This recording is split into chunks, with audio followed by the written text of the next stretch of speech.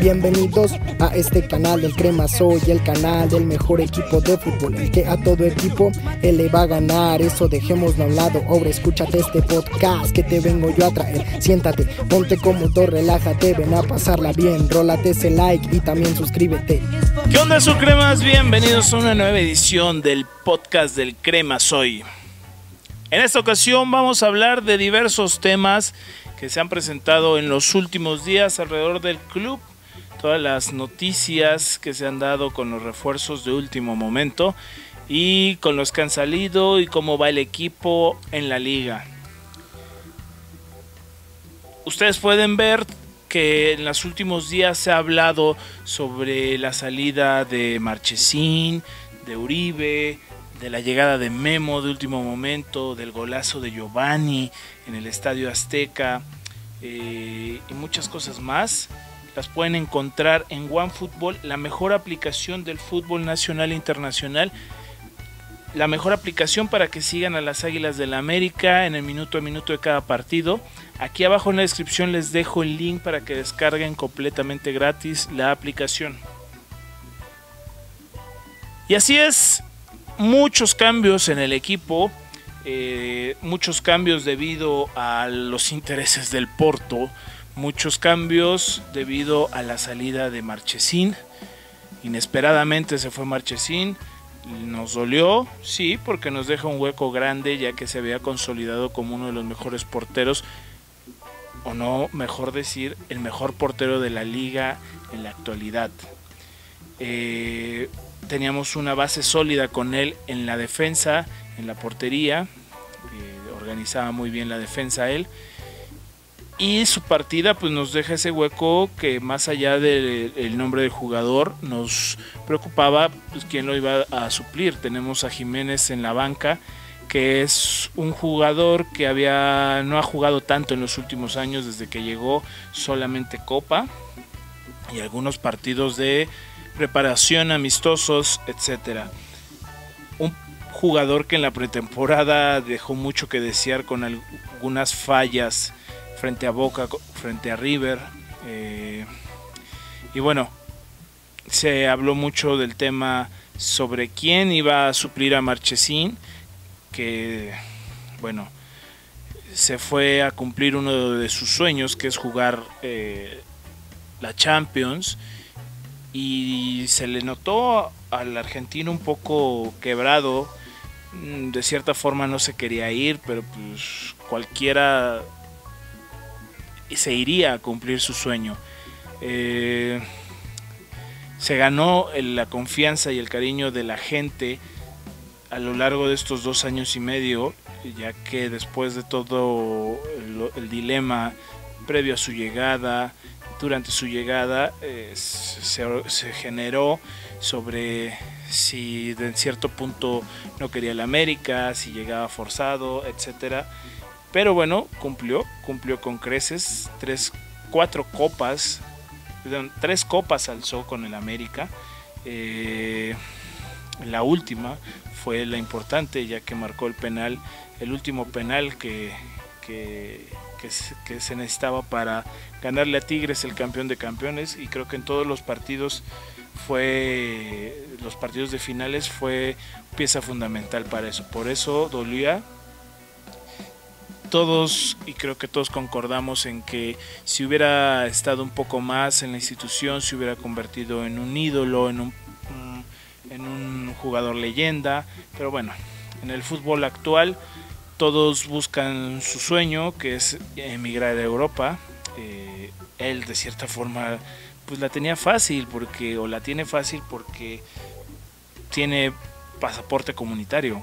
Entonces eh, necesitaba una oportunidad de ese calibre que se originó a raíz de el problema cardíaco de Iker Casillas. Entonces, ¿a qué nivel llega Marchesín a cubrir, a cubrir a Iker Casillas en el Porto? Así son las cosas en el fútbol ahora. Eh, también se despide de la institución Mateo Zuribe, que en los últimos semestres no, no apareció tanto después del penal fallado en, la Copa del Mundo. Sus primeros semestres fueron buenos, muy buenos Hay que recordar ese golazo en el partido de ida de semifinales, de cuartos de final contra Pumas, que bueno, nos ayudó a, dar el siguiente paso y, avanzar. Eh, no duele tanto porque se puede suplir de cierta forma, eh, tanto que porque había sido irregular él en los últimos partidos. Eh, bueno, también a final de cuentas se nos fue Edson y de cierta forma se tenían que cubrir estos puestos, ¿no? Eh, en este en este en este receso de verano, en este mercado de verano, se habían incorporado algunas eh, piezas como el Oso que venía de Necaxa, como Leonel, que fue uno de los últimos que ingresó, que proveniente de Toluca, y ahí se tenía eh, más o menos calculado por la salida de Uribe la llegada de Giovanni, que más allá para cubrir a alguien se llegó a, reforzar como tal. Y bueno, pues se tenía que cubrir la salida de Marchesín y la directiva se movió y se movió muy bien. Se, se puso las pilas y fue a buscar a algún jugador que pudiera suplir de igual o mejor manera que Marchesín. Y las lágrimas que derrama, derramamos por el argentino se suplieron por lágrimas de felicidad con, la, con el anuncio de la llegada de Memo Ochoa al arco azul crema. El regreso del hijo pródigo del caballero Águila, de ese jugador que nació en la cantera y que porta con orgullo todavía los colores azul cremas. Y que bueno, no es un retroceso porque llega al fútbol mexicano al mejor equipo. No es un retroceso porque si fuera retroceso llegaría a un equipo chico, Veracruz, Puebla, Jaguares, etc. Es un buen momento porque va a ser el jugador mejor pagado de la liga y obviamente de la institución. Eh, llega con muchos reflectores, llega eh, con bombo y platillo. Después de ocho años de estar en el fútbol europeo, luchando, buscando un puesto en un equipo eh, importante de primer nivel. Eh, a veces las cosas no salen como una las planea y a veces el camino se vuelve un poco más ríspido de lo que podríamos pensar que llegaría a ser. Se atrevió a él, se atrevió a salirse, ser uno de los porteros mexicanos que salen al fútbol internacional. Eh, primer, en las últimas décadas el primer portero que, que va a Europa. Entonces, retroceso para nada, no lo considero como un retroceso, lo considero como un nuevo ciclo en su carrera, esa carrera importante que tiene él, eh, campeón ya con el América, eh, seleccionado nacional titular, eh, uno de los capitanes de la selección. Entonces creo que llega en un buen momento para dar unos buenos años todavía en el fútbol mexicano y qué mejor con las Águilas del la América. Esperemos se incorpore lo más pronto posible. Todavía tiene que atender algunos asuntos de su pasaporte eh, comunitario en, eh, allá en Europa para poderse incorporar a las águilas. Eh, se espera que más o menos esté llegando en los próximos días, a más tardar la próxima semana. Quizás alcance al equipo en Atlanta para el Campeones Cup contra el Atlanta United o si no ya para el partido contra Morelia en el Estadio Azteca. Esperemos que esté lo más pronto posible porque sí, el arco lo tenemos de cierta forma desprotegido. La ventaja del partido contra Cholos, que vamos a hablar ahora sobre ese partido, es que a Jiménez no lo atacaron tanto. Entonces, mientras no me lo ponga nervioso a Jiménez, todo está bien. Eh, ese partido, bueno, eh, un error de Aguilera, tengo que dar una fe de ratas. Yo en el video del partido dije que fue un error de, Jiménez, no, corrijo, fue un error de Aguilera. Eh, y hay que aceptarlo, fue un error de Aguilera, no fue de Jiménez. Eh, tal vez el recorrido pudo haber sido mejor, etcétera, etcétera, etcétera, se la desvían, cualquier cosa, pero fue error de Aguilera. Pero en general el equipo funcionó bien, le costó un poco de trabajo en el primer tiempo, no encontraba eh, por donde eh, Castillo tuvo una que otra jugada hasta que se lesionó. Eh, desgraciadamente va a estar tres meses de baja por fractura de peroné, como ya todos lo saben. puede que esté antes, un poco antes, pero depende de la evolución de la lesión. Y bueno, esto le da la oportunidad a Giovanni y a Henry para pelear por la titularidad que bueno, entre dos mexicanos será de lo mejor, ¿no? Eh, Giovanni, una buena actuación en el partido a partir de que entró en el segundo tiempo. Eh, destacó mucho ya que dio un pase de gol para Roger Martínez y obviamente el golazo que metió eh, espectacular ese es el Giovanni que conocemos mucho, esa es la chispa de la cual se esperaba de él, de la cual muchos dudaban que si llegaba a robar al fútbol mexicano, a vender humo o a jugar de verdad y creo que cayó bocas en este partido. Esperemos siga con ese ritmo Giovanni para así consolidarse en el equipo y bueno, tener la titularidad lo más posible y ser contundentes. Imagínense ese equipo que vamos a tener con Ochoa en la portería, Guido en, la media cancha y Giovanni adelante va a ser espectacular. Sumado con, con, Ibarra que está jugando muy bien por la banda. Entonces yo creo que va a ser un buen equipo contundente y, y, letal. Guido anotó también un golazo, un pedazo de gol que se metió en el partido contra Cholos, eh, que el que abrió la lata para, para los goles. Y creo que en, general poco a poco se va a ir encontrando cada vez más el equipo. Tienen que, aflojar todavía un poco más. Eh, en algunas partes eh, se siente un poco duro, como es la defensa. se originó el gol de Cholos. Y bueno, apretando esas piezas que, todavía faltan, yo creo que al final del torneo podremos llegar muy contundentes a la liguilla, que es lo importante esperando que ya tengamos a todos completos. Eh, y, ahora tenemos las nueve plazas de extranjeros, ninguno se va a ir a la, a la, a la tribuna, así que el equipo tiene carro completo y tiene con qué pelear las, la, la liga y la CONCACAF el próximo año. Eh, la salida de Marche nos desbalanceó un poco, eh, nos dejó con muchas dudas, pero creo que con la llegada de Ochoa no hay dudas ahora. Hay, hay un equipo consolidado y fuerte que puede luchar por cualquiera de los torneos, la League's Cup, la Campeones Cup y todos los títulos que se nos pongan enfrente.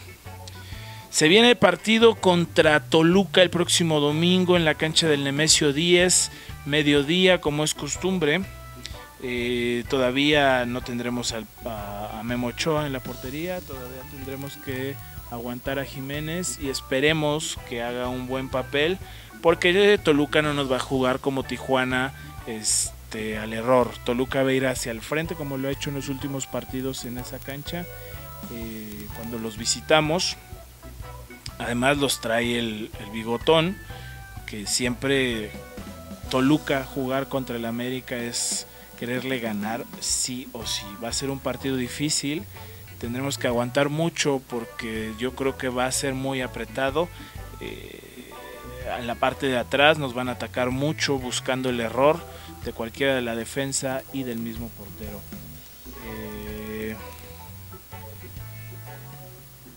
Yo creo que hay oportunidades de ganar.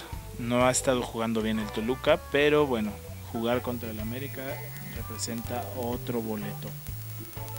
El partido pasado del de Cholos, como ya algunos o la mayoría se dieron cuenta, estuvimos en la Se desató mucha polémica porque si fue un buen video, fue un mal video, a muchos les gustó, a otros no.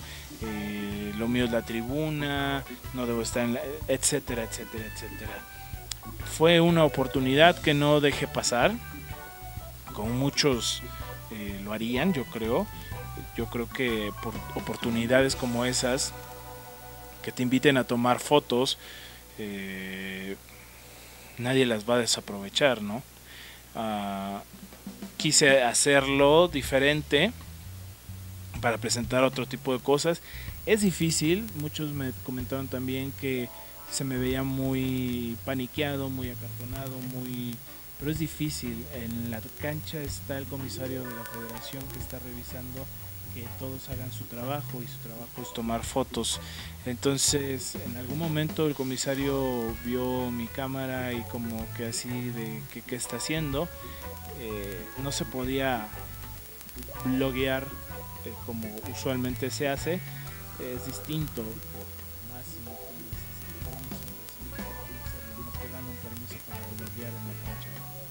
una persona que, que esté en la cancha para eso. Si para eso te vas a la tribuna, en este caso yo estaba haciendo otra cosa, pues lo quería combinar. Fue una oportunidad, fue algo diferente y eso no pasará. Así como hemos estado en el lounge de Coca-Cola, como hemos estado en el palco del club, como hemos estado en otros palcos, no pasa nada las diferentes perspectivas de cómo se ve un partido del América en los diferentes sitios del Estadio Azteca. Sin nada más que decirles por el momento, todas las noticias nos tienen felices, nos tienen contentos, esperando el momento en que ese equipazo que tenemos salte a la cancha, que se conjugue todo para que todos esos jugadores estén juntos por fin y que peleemos por el campeonato. Eh, los invito a que se eh, suscriban a este canal de YouTube si, si, no lo han hecho, que, activen las notificaciones. También que nos, se suscriban en Spotify, en, en, Apple Podcast, en todas las plataformas de podcast que, que existen y donde estamos transmitiendo para que les lleguen las notificaciones de que ya hay nuevo podcast. Eh, no dejen de hacerlo, ustedes apoyan mucho este proyecto y apoyan el crecimiento de este tipo de contenidos. Eh, nada más que decirles, les mando un saludo y les digo que vamos los cremas la puta madre, el domingo ganamos en Toluca y tres puntos más a la bolsa. Bienvenidos a este canal del Crema Soy, el canal del mejor equipo de fútbol, que a todo equipo él le va a ganar, eso dejémoslo a un lado, ahora escúchate este podcast que te vengo yo a traer, siéntate, ponte cómodo, relájate, ven a pasarla bien, rólate ese like y también suscríbete.